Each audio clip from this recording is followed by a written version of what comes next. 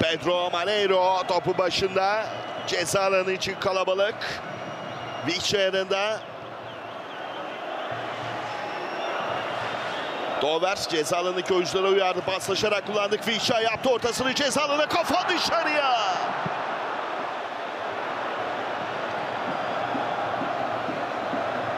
Dansville. Vişça'nın ortası. Böyle vurdu kafayı Dansville.